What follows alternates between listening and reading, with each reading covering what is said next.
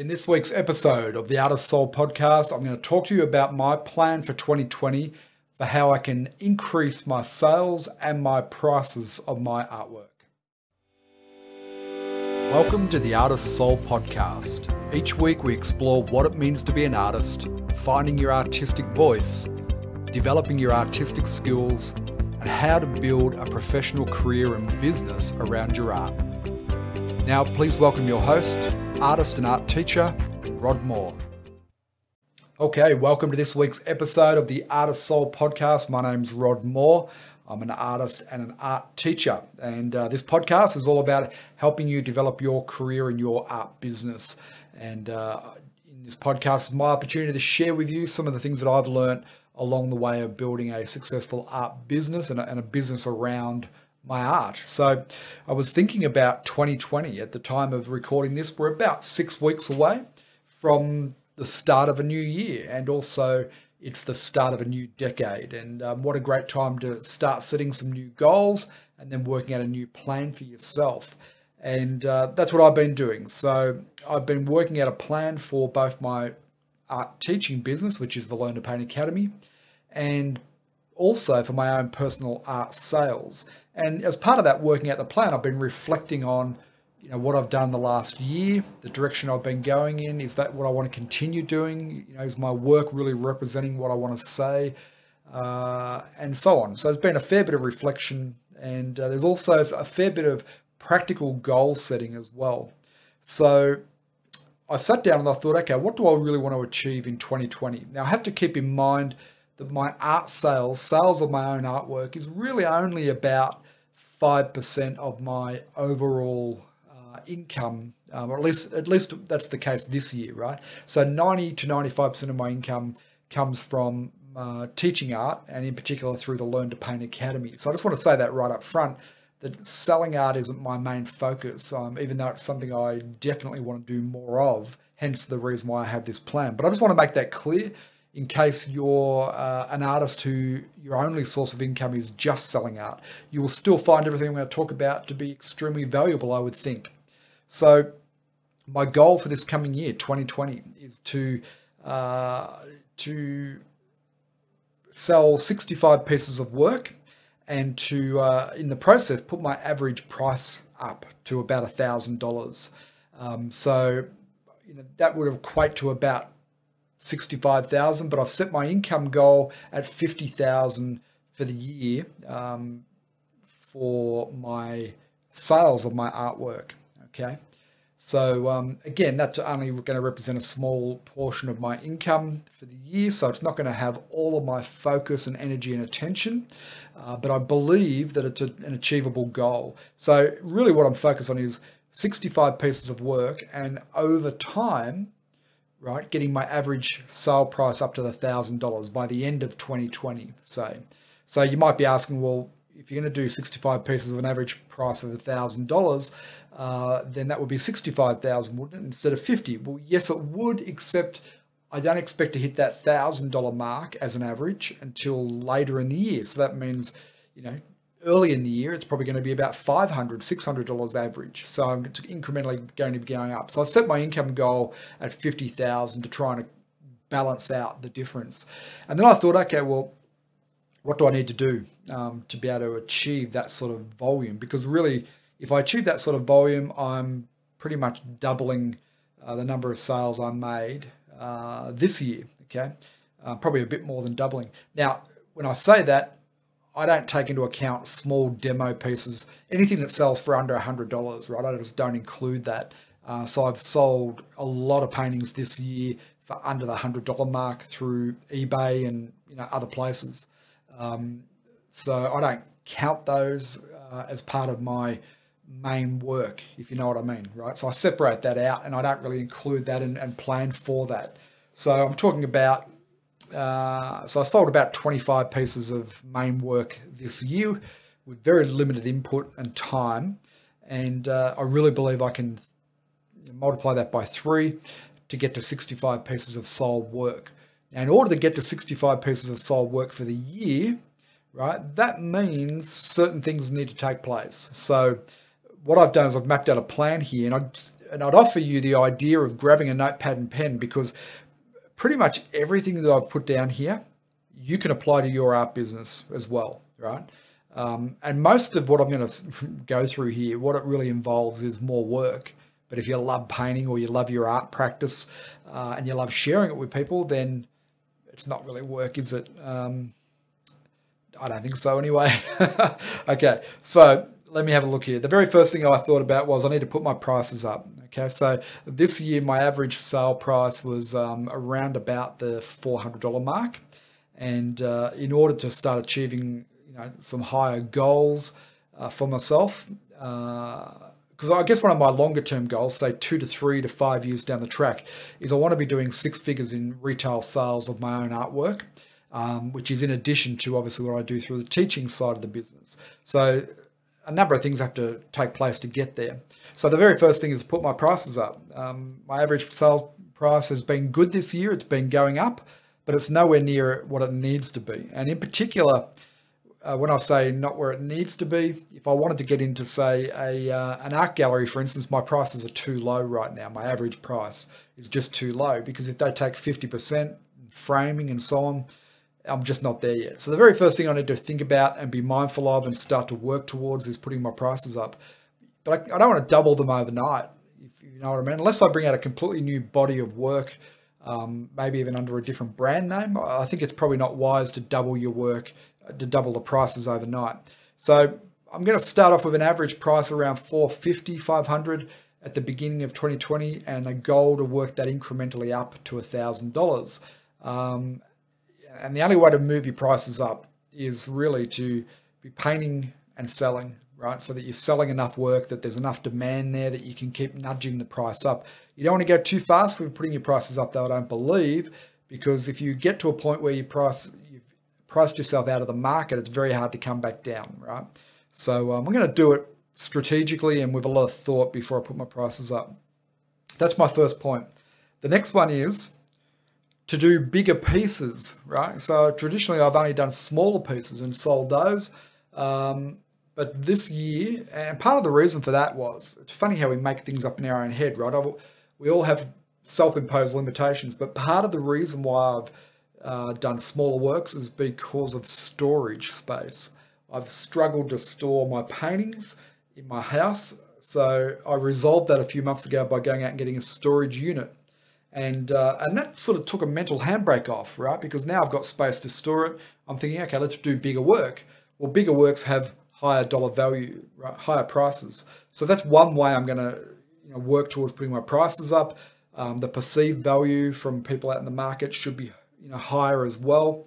So I'm going to do bigger works, um, which probably means using bigger brushes and, and really being mindful of productivity. You know, like how how long is it going to take me to do these bigger pieces? Can I bring that time frame down to a reasonable time frame? Okay. Next one is to just to do more work, to be more productive. Because even though I work, um, I work long hours, I work hard uh, in what I do, but I do tend to have periods during the day where I do slack off a little bit, and that could be time I, I use in the studio. Part of that is because I spend a lot of time, you know, every artist goes through this, I'm sure, uh, but I spend a lot of time either in the studio or in front of the computer, um, working on my own at home. And so I do tend to like to get out of the house after I've done a certain amount of work and just go and sit in a cafe just to be around human beings, right? Um, so I probably do waste a little bit of time each day, maybe an hour a day, that I could be more productive and I could produce more work, more output with my work. So that's another thing. I'm if I'm going to hit 65 pieces sold, then I'm probably going to need to do 300 pieces of work, possibly 250, 300 pieces of work. So I need to be more productive. Uh, next one is to do better quality work, right? So better quality work will enable me to charge higher prices over time. So that means better quality uh, supplies. You know, may, maybe it means stretching my own canvases. I don't know. I haven't explored that yet. Um, but getting, you know, uh, professional grade paints and, and canvases and supports and things like that.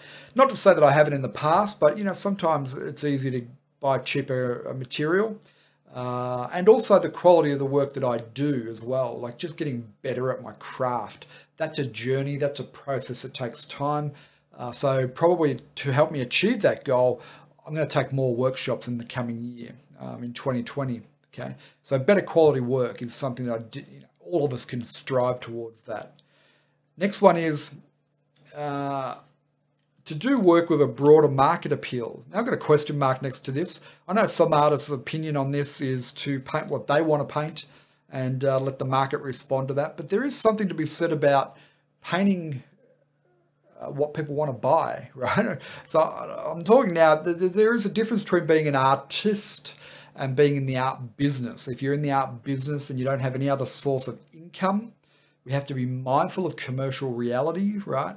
And therefore, if people want to buy a particular style or approach, that maybe we need to have part of our work reflect what the market wants to buy. So I'm thinking about how do I uh, do a you know, more market appealing type work without really losing the integrity of my own art practice.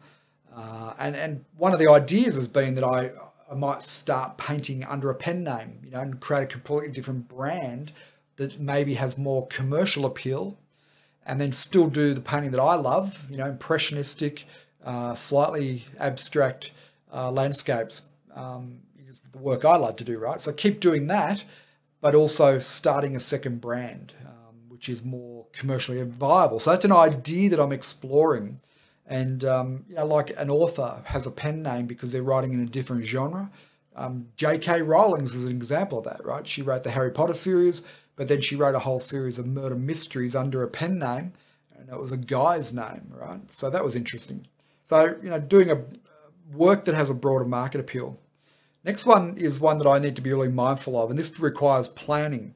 Uh, and that's to do more group art shows and exhibitions in both Brisbane and the Sunshine Coast where I am. So, you know, the, there's a lot of art shows, a lot of exhibitions that you can enter into. And in the past, I haven't really applied a lot of focus to doing that. Um, I go in a few, you know, a couple a year. But if I wanted to, I could be in 15, 20 different shows a year. So that requires a couple of things. One is identifying where the shows are, what they are, um, having a spreadsheet with the date of the show, um, when the entry is closed, you know, what the criteria is, that type of thing. Uh, and then having work available to, to go into those shows. So, a couple of different things I need to work through there. But I've started to make a list of all the art shows that I'm aware of in my local area, right? Um, and different art groups that I can join, that I could be part of their group shows. So that's definitely something I'm going to do. Uh, whether I get involved in all of them or maybe I just do, you know, I did two, I think, this year, two or three, maybe three. Um, so maybe I'll ramp that up to say 10 um, different shows this year. Now, here's one that I, I don't see many artists doing at all. In fact, I don't really see any artists doing this, but I've written down here to do two to maybe three virtual exhibitions a year. So you've probably seen artists who are very professional, very successful, and they're always working towards their next solo exhibition with a gallery and you know, and they, and they build their whole year around having two or three solo uh, art shows a year, and that's where most of their sales are made, right? So I was thinking about that. Well, I'm not really in a gallery, and I don't really have the desire to be in a gallery just yet. Um, how can I achieve a similar sort of momentum towards two or three events throughout the year? And I was thinking, well, why not just hold a virtual exhibition, right, online, where you can have a simulated uh, art gallery experience and you can invite your email list, your social media following to this, right? Now, there's software around and there are websites around today that enable you to set up your own virtual exhibition um, in, in, an art gallery. And it is really incredible. You can walk through the gallery and look at the work, and then you can link back through to your website to buy the work if you want to. So I'm planning on having two to three virtual exhibitions this year with perhaps, uh, say, 20 to 25 pieces of artwork in each. And that what that means is I can then divide my year up into thirds, right? Every four every four months, I'm going to hold a virtual exhibition, and um, and I'm going to you know work towards that. So do a body of work or a series around the next coming virtual exhibition. So I've written that down as a, uh, a definite, right? Because it's something I've been talking about for a year or two. Definitely going to do it this year. Next one I've got is to do one or two solo shows per year. Uh, we'll see how that goes because I'm not really in the mindset to go out and pursue galleries. I know galleries work for a lot of artists, uh, but there aren't a lot of galleries around me here, and um, you know, so we'll, we'll just see what unfolds. I'll put it down as part of the plan, but I'm not going to pin my hopes on it. Right? I've got, a lot of other areas to, that, I, I want to pursue as well. But it's on the plan, so if the opportunity arises, then I'll, I'll jump at it, right? Um, next one is something that a lot of artists don't think about, and that's to merchandise and productize your artwork. The biggest problem I think with the art world for artists is we go and we create a piece of artwork, right? And then we go to the marketplace and we sell that piece of artwork. And we might have put five hours into the work or 10 hours, and we sell that piece of work, but we never build an asset that we can get paid for over and over and over again. We sell that piece of work and we get paid one time for it. We have one opportunity to be able to make an income stream from that piece of work. And so uh, I'm looking for ways that I can, you know, for every piece of work that I do, I can get paid multiple times in multiple ways and develop an income stream that goes on for years to come from each piece of work, right? Even if it's only, you know, $100 a year from each piece of work. If, if over the next five years you build up income trails around your artwork, you're going to be in a much better position, right? So I'm going to look at merchandising and productizing my work. Now, my current work, you know, what I sort of prefer, my, my, my most preferred way of painting is impressionist, uh, semi-abstract landscape seascapes. I don't think that lends itself that well to productizing and merchandising. But going back to my point earlier about working with a creating a body of work around something that's more market appealing, I think that could work for, for merchandise and productizing. So I'm going to give that some thought, uh, definitely. So now here's a few obvious ones, right, that we should all be working towards, and that's to grow my audience. Okay, now to me that means to build my email newsletter list first and foremost, um, because social media, uh, you know, you can build a big following on social media, and then the powers that be, they can switch off your access to that following very easily, right? Uh, as I've found out, and as other people have found out, um, I built a big following on my Learn to Paint Academy Facebook page, and then uh, Facebook changed the algorithm, so I, I, couldn't reach them when I posted. I had to pay to reach them, right? They changed the ball game. so the best following you can have is your email database because then you own that as an asset, and then you can contact them regularly whenever you choose, right? So that's first and foremost grow your audience, right? Most artists don't spend anywhere near enough time putting in place strategies to grow their audience. Um, and I think you need to, right? So there's a lot of different ways that you can actually grow your email database. And perhaps we'll do a future podcast on that. So then following on from that, the logical extension of that is then social media. So to grow my following on Facebook, Instagram, and YouTube, right? And to post more frequently and to be more engaging with my audience there because I have to admit, uh, I get quite busy with everything we do at the Learn to Paint Academy and, and other things that I'm involved with. And um, I find it difficult to get back to people's comments and so on on social media. I, I do struggle with that big time, right? So I want to be more mindful of that and try and carve out time during the day where I can actually respond to people on social media more and post more. Okay. Next one is to pay more attention to my own website. I've got work listed up on third party gallery sites that aren't on my own website. So I need to bring my own website up to date and keep it up to date, right? Uh, next one I've got here is to e- actually send emails to my newsletter list on a more frequent basis. I don't think once a month's enough. I think maybe twice a month is probably what you need to be um, doing. Yeah. Okay, so here's one that I think is really important for all artists, and that is to document and share my process more, to build more of a story around me as an artist, uh, what my studio practice is, what I'm working on, uh, the, the body of work that I'm currently, you know, immersed in, and what the inspiration behind it was to, to really develop the storytelling and the documentation of my process and putting that out through social media and to my email newsletter list a lot more than what I've been doing because that's what engages people and gets them uh, you know, mesmerized by us as the artist, right? Is is that insight into your world as the artist. At least that's what I believe anyway. Okay, next one is to actively work at least five different selling platforms. So I've got my own website, right? So forget about that. Um, I need to work more selling platforms. If you want to sell work, you need to put your work and make it available where people go to buy work, right? So what a lot of artists do is that they join all the artist Facebook groups and they post their latest painting up there and they get lots of likes and feedback and pats on the back from the other artists but that doesn't sell a lot of work, at least not as far as I'm aware. Um, if you're making a six figure income from doing that, let me know. I'd be keen to find out how. Uh, but perhaps thinking about where do people actually go to buy work?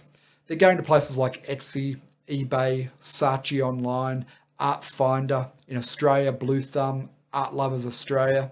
That's where they're going to buy work. If somebody thinks, oh, Mary's birthday is coming up in two months, I need to buy her a, you know, a nice seascape painting for her beach house.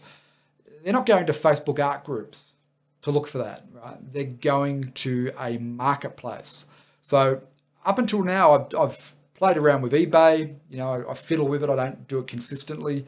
Um, most of my sales have come through Blue Thumb, an online art gallery, and uh, I've got work up on Art Lovers, Art Finders, and one or two pieces on Saatchi. So I'm not really fully all in on any of those platforms, and so my goal is this year to you know to work five of them.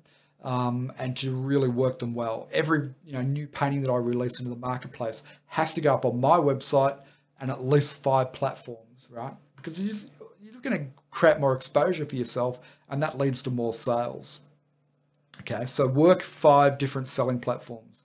Next one is to get more press, free press and, and publicity. Uh, you know, getting press for artists is not difficult at all. It's very easy, in fact, right? Um, the media, like print media, newspapers, local newspapers, they love doing stories on artists. Local radio, they love interviewing artists. But here's the thing if you contact them and say, hey, can you interview me? I'm an artist. They're going to say, nick off, you know, go away. Um, you need to be smarter than that. You need to develop a, a story angle that's going to be compelling to them, right? Um, so one of my recent ones, I'm involved in Toastmasters and I won district speaking competition. And so I put out a press release saying local artist wins speaking competition, right? And so I, you know, I had great media coverage, including front page, full page coverage, photo, uh, interviews in the local radio. So, uh, you know, if you follow the right template, getting media attention is pretty easy. Um, I just haven't done it enough, right? I haven't done it enough. I should be doing it every month, putting out one press release and getting media attention every month. So that's on my plan as well. Next one is something I think every single artist has got to do.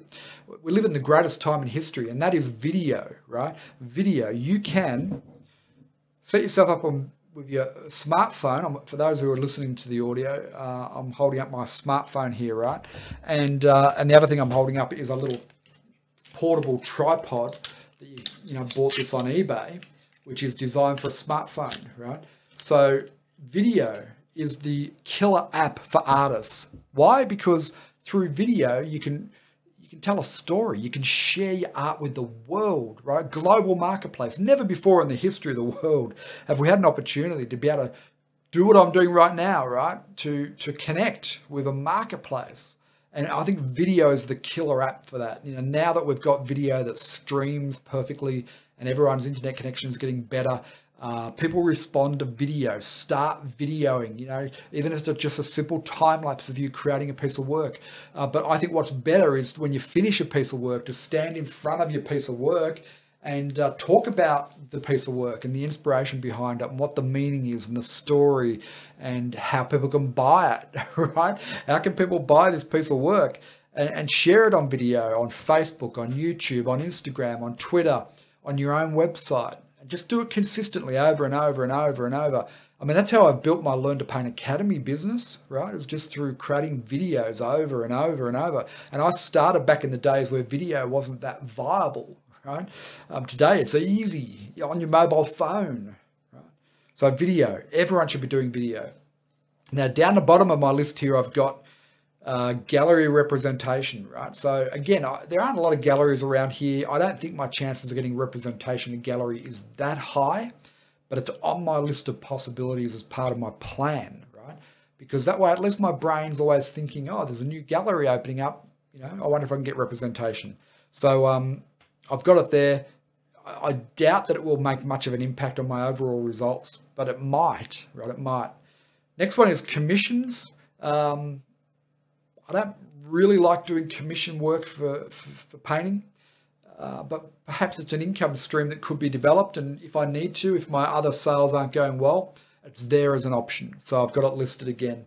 Um, and figuring out the right way to promote commissions, I think, is important. Uh, and then I've got a note down here. I've already talked about this, but the last note I made was to start a whole new range of art that's perhaps more commercially viable and lends itself to productization and um, merchandising uh, and selling prints and, and so on. Um, and to do that under a different name, a different brand. Now, I don't know that this is the right thing to do for every artist, um, especially if you're not full time right now. Then I wouldn't recommend doing this because it just doubles the amount of work you have to do. But I do think that if you're an artist who's got to a certain plateau with your work and you've been stuck at an income level for some time and you want to break through that, it's worth considering, right? It's worth considering. Um, I mean, you could even just create a whole new range of art under your own name if you wanted to, just to simplify things. I think it could send out a mixed message uh, to the market and they're potentially different buyers. So maybe it's a good idea or not to do that. You make up your own mind. Uh, but for me, I'm, I'm, potentially going to do that under a completely different brand name. And uh, so there you go. That's my list of things that I came up with over coffee um, on how I can sell 65 pieces of work this year and get to an average of $1,000 uh, per painting by the end of the year. And uh, will I do all of them? Probably not. But at least I've got a starting point. At least I know all the things that I could do. And there's probably a whole lot of other things that I could do as well. Uh, so it's a starting point. It's a mind dump of all the things that I could do. And probably what the best thing to move forward would be would be to go through there and pick out half a dozen things and throw all your energy at those half a dozen things. So, if, for example, one thing I know I must do, right, is increase my production of saleable work. Productivity, right? If I want to sell 65 pieces, I probably need to produce 250 pieces, right? Because I sell about one in four, one in five pieces. So therefore, that's one thing I must do. So in this list, there's a you know there's must dos and there's good to dos. So go through and identify your must dos, and then pick out half a dozen good to dos out of that list, and um, and then just get to work. Right? Really, ultimately, it's going to come down to more work. More paintings I create is going to create more opportunities. More paintings I put into the marketplace is going to create more opportunities. More marketplaces that I put the artwork into, again, is going to create more opportunities. And it always goes that the person who works the hardest gets the luckiest, right? So um, I wish there was an easy way. I wish I could come to you and say, hey, dude listening or dudette listening to my podcast, I'm the oracle of, uh, you know, all things art and sales. Um, he is the magic key to becoming a successful artist, right? Uh, I don't know what the magic key is. I just I've come to you with the truth. The truth is it's hard bloody work, and um, but it's got to be strategic, right? You've got to strategically do work, and it's got to be aligned to a vision, a plan, a goal, and moving forward in that direction rather than being spasmodic, right? We talked about that in our last podcast. Um, so I hope this helps. If you could think of any other ideas for increasing the sales of your artwork this year or next year, then please leave them in the comments. I'd love to hear them and uh, potentially incorporate them into what I'm doing um, and share them with other people as well. And uh, hey, one reminder, you know, in six weeks' time, this decade is over and we're moving into the 2020s, the roaring 20s, right? Um, and we've got a whole decade ahead of us. And it's a great opportunity for artists to really embrace this new time, this new era, uh, this greatest opportunity in history of the world. Now's the time to embrace it. So um, sit down, make a plan for yourself, set some goals for the coming decade and then for the coming year, and do what I've done. Make a brain dump of all the things you could do, and then turn that into a plan and then get to work, right? Don't wait until 2020. Get to work today, right? Um, anyway, this is Rod Moore, the Artist Soul podcast. I hope you've enjoyed listening. Please share this podcast with all your artist friends uh, that you think might be uh, interested in hearing it. And I uh, look forward to speaking to you soon on the Artist Soul podcast. Cheers for now.